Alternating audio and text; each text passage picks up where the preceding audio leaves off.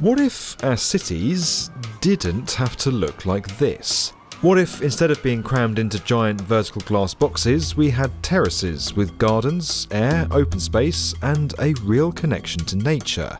What if our skyscrapers soared diagonally instead? And what if they weren't skyscrapers at all, but stacked villages with flying streets in between them and every amenity you could dream of just a short distance away? This is Habitat 67, and it may be one of the most important building ideas of the 20th century. It reimagined urban living and inspired a generation of architects.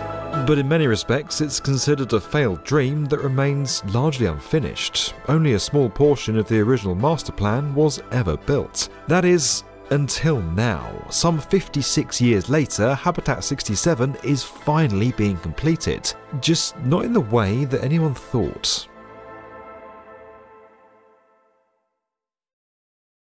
Habitat 67 is a big deal. Habitat 67. Habitat 67. It looks bizarre. It's a very desirable place to live in. Magnificent. It's incredible. Young Montreal designer Moshe Safdie. Moshe Safdie Moshe Safdie. pioneered a new housing typology. Reinventing the apartment building.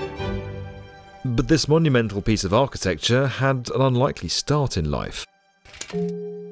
It began as the thesis of a sixth year architecture student, then took shape at the 1967 Montreal World's Fair.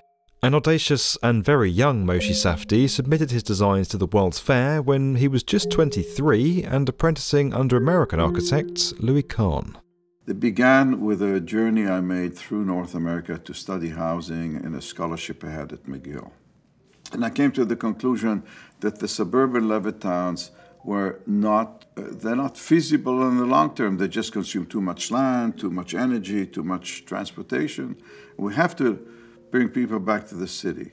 But people prefer houses. That's why they're in the suburbs. Therefore if we could reinvent the apartment building so that it gives you the quality of life of a house garden privacy access through an open street people will be more willing to live in cities. How will this fair differ from other World's Fairs? Oh, it's bigger.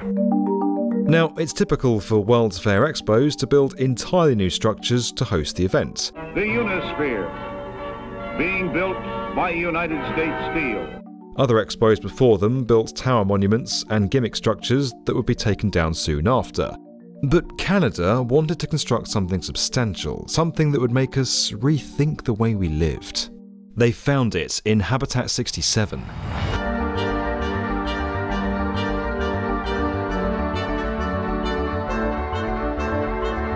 It would be a pilot program for a whole new type of housing, one that wouldn't contribute to sprawl or just be another soulless tower. But to really understand why this was so groundbreaking, we have to put ourselves in the 1960s. Mac, darling, you're being a bore. You miss? I feel pretty. Today, you and I live in a period of tremendous growth. The growth of these regions presents one of the biggest challenges facing our nation. The problem of urban sprawl. Two very important things were happening in urban planning at this time. The first was zoning. We began dividing our cities up, separating them into their functions. Residential in one part of the city, offices and employment in another part of the city, industry in another part of the city, all separated because the concept was you shouldn't mix different land uses in one place. The problem is, people's lives aren't divided as cleanly as that. Part of the reason why zoning came to popularity was because of the car. Suddenly, it was possible to separate out these places by vast distances. But then we're designing our cities for cars and not for people. Habitat 67 does away with this idea. Instead, it puts everything in the same place. It was one of the first truly mixed use developments, words we now see to describe almost every major new construction project. A mixed use development is one which takes all the ingredients of urban life and accommodates them within a structure. So, in its simplest form, it's a shopping center with towers of residential and offices and other facilities. But in its most sublime form, its residences with all the things that community needs, like schools and shops around them, plus places for work, offices, workshops, etc., integrated into a singular development. This folded into utopian ideas for architecture that started to emerge in this time following the post war period. Everything was being rethought, and anything could be possible. So Canada took a chance on a 23 year old freshly graduated architect and his bold idea. At the core of Safdie's vision was prefabrication, apartments made in factories, assembled module by module and on site. As he developed Habitat 67, he came up with the concept of a hillside, Safdie's original thesis had the modules stacked 20 to 30 stories high in a frame like tower structure. But he realised that if he leaned them back as if they were on a hillside, they could all have gardens and other areas open to the sky. The hillsides would hover over sheltered public spaces on the ground below and would be laced with streets every four floors for access.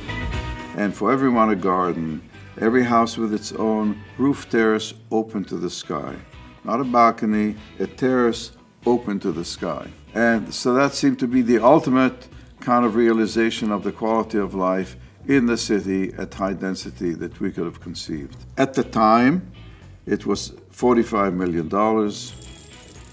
It represented a community of 1,200 families with all the mixed use components. In today's dollars, it's probably $450 million. But Safdie and his team were unable to secure the $45 million in funding.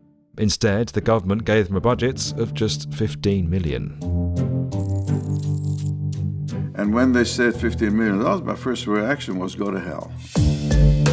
It's everything or nothing. And then I started rationalizing. And so it took 24 hours to have me go through full cycle of saying, I can't miss that opportunity. It won't be the ideal which led to the habitat that we built, which is not the membranes, it's kind of more of a village, an urban village. Instead of a community for 1,200 families rising 30 stories into the air, Safdie's habitat was scaled back to just 158 residences across three pyramids, less than half the original height. We didn't make it different. It didn't reduce the quality of life within your apartment, or you still had your gardens, you still had your open streets, but by scaling it down, it became more of a building than a community. It's now 1963, and we're still decades away from computer assisted technology. 3D printers are more than half a century off, and this immensely complicated design had to be developed entirely by hand through sketches and models. So many, many models. The work was labour intensive and the days were long. At its peak, Safdie was spending up to 14 hours in his studio at a time. Then, something amazing happened. Hey, kids, look! Lego is here! The Habitat design team bought nearly every Lego set in Montreal when the little plastic bricks first arrived in North America. Lego was a, a block, but it was modular and it had the capacity to, to connect. But it had the discipline, there was a system to it. You could connect it through the clicking, so it could be stacked or 90 degrees or in parallel shifted by increments.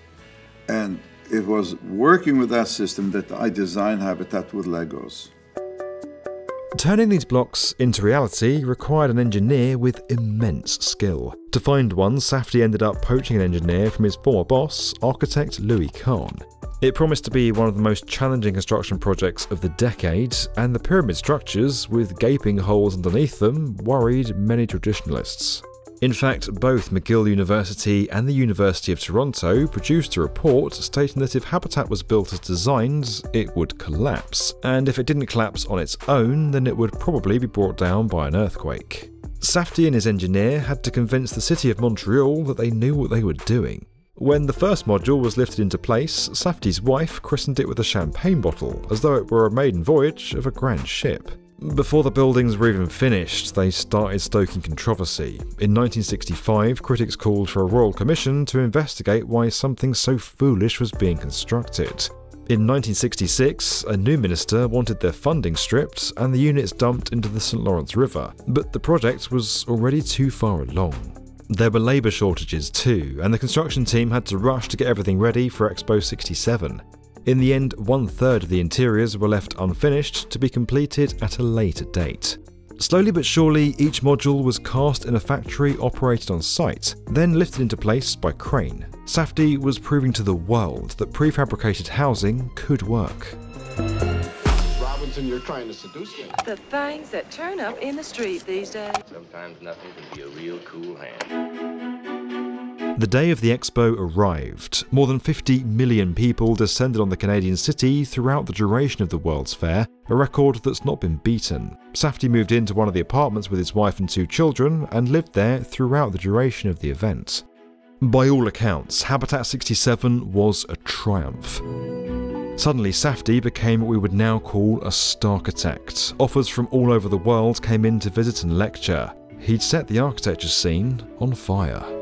Well, in that respect, it's uh, it's like uh, living happily ever after because Habitat is a vital, successful, and very desirable community, and the fact that people stayed there for decades. The fact that in many cases the second generation and even third generation live there, that it has the longest occupancy of any building in Canada, that shows you people love it. They, they want to be there.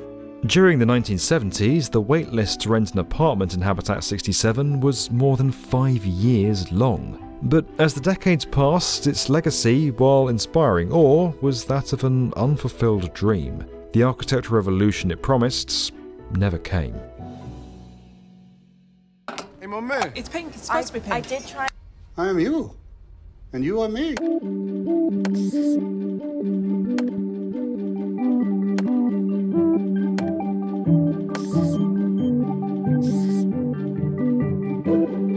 It's these buildings that embody the two greatest words of the human imagination. Two words that, when uttered correctly, have shifted the course of civilizations, created movements, and opened minds. What if? A very young and emboldened Safdie dared to stand against the establishment and ask just that. These buildings ask it still to this day, and today's architects and designers are doing the same. What if Habitat 67 had been completed to its original design? Would this dream of housing be available to everyone? Could it still be? Neoscape approached Safdie architects about modelling Habitat 67 digitally to preserve and share the design with the world. It was Safdie architects that then proposed completing Habitat 67 virtually, but all of it this time, using Epic Games' Unreal Engine, technology that Safdie could only have imagined back in the 60s, this could now actually be done.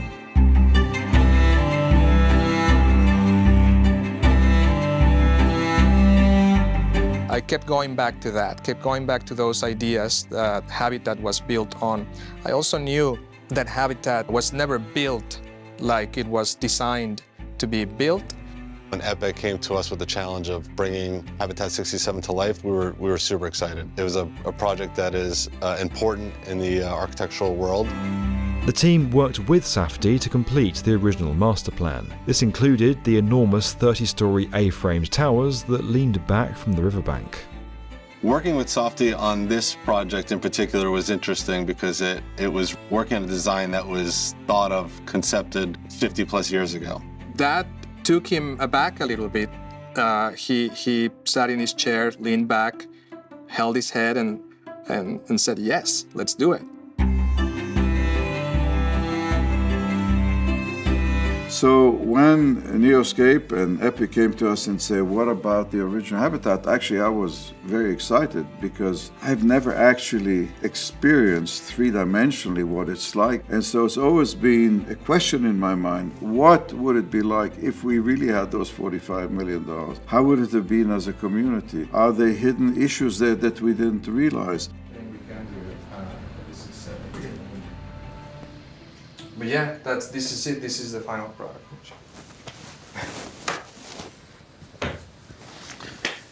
That's amazing. We showed him for the first time the whole project. His reaction was uh, something that you would have to blip, I guess. He was uh, very much uh, happy with it. He said, Imagine if I had this in 1964. I would have convinced them and we would have built it. It was an immediate reaction I would love to live there. And that's the ultimate test. I mean, I would love to live there. And yet, at the same time, I realized, boy, was that ahead of its time. It's ahead of its time today. And I hope that actually making this accessible to the public at large as an image, as an idea, you could live like that, would now help advance people's desire to have this realized.